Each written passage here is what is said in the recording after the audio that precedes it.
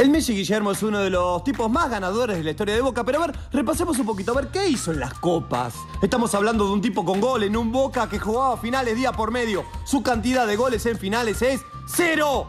En la Libertadores del 2000, además, metió menos goles que el Zapito Marchán. En la final 2001 contra Cruz Azul, ni jugó. En las finales de 2003 contra Santos, jugó 50 minutos. En la vuelta ni estuvo. En la Sudamericana 2004 no metió un puto gol en todo el torneo.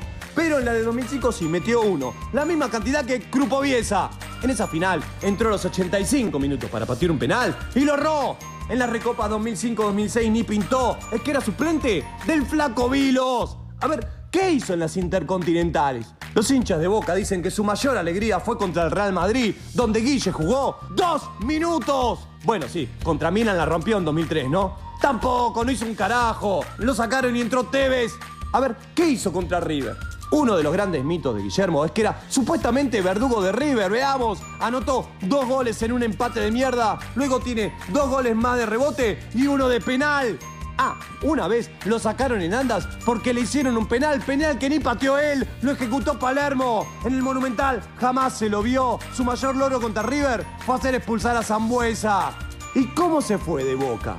Cansado de comer banco una y otra vez, pidió jugar en reserva para no perder ritmo. Y un día lo limpiaron y se tuvo que ir con una despedida inolvidable. A lo grande, no jugó, no entró ni un minuto. Y se fue al Columbus Crew, que no sé qué es una heladera. En fin, chao, nos vamos. Otro mito que muere. Aunque este ya había muerto en diciembre de 2018.